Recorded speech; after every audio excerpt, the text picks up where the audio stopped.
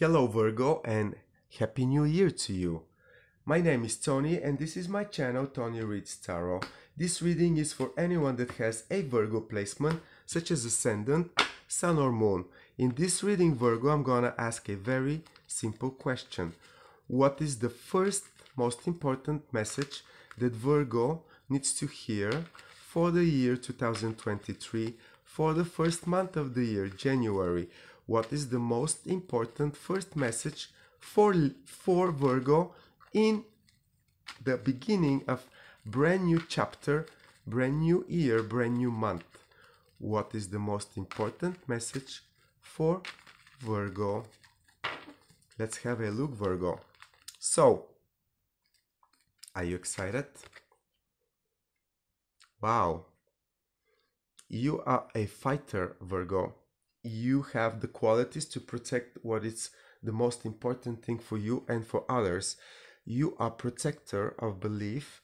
You have strong faith and you have strong abilities to survive. You are someone that can actually be, um, let's put it this way, uh, a pillar of strength, a pillar of wisdom and determination. Wow. I just hope this uh, uh, brings you positive new outcome and uh, not, you know, tests to check you if you are that person because I see that you are.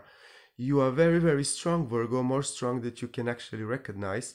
And what you need to know for this year is that you have the strength to protect and to deliver anything that it's important to you and anything that you treasure a lot. So this is the energy of uh, one less step for you to achieve something great, something that you fighted for, something that you took punches for, but you protected it successfully. This is determination for you to be. You are worth it, Virgo, with this card. Very, very worth it. Let's clarify it with another energy, and it's most likely 2022 didn't deliver you opportunity to make an important life decision or to get higher.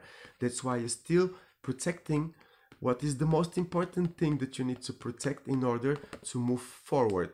And let's clarify it with one more card. You're gonna attract it to you.